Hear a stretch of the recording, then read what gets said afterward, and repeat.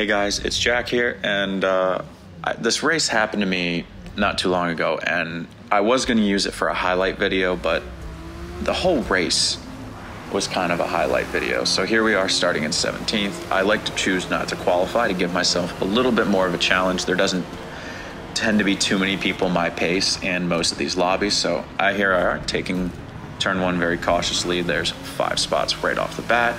All we did was just smoothly go into turn one, and now we're off. Now up ahead, I can see there's a Corvette C8R in front of me. I know that that car is not very fast on the straights.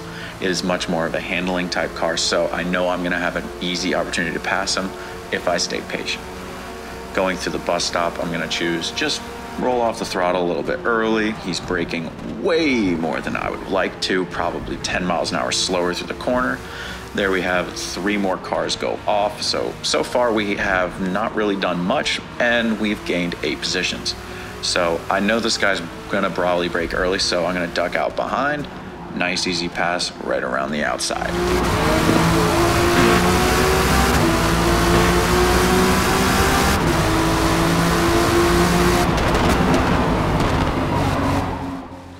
So I can see the next car in front of me.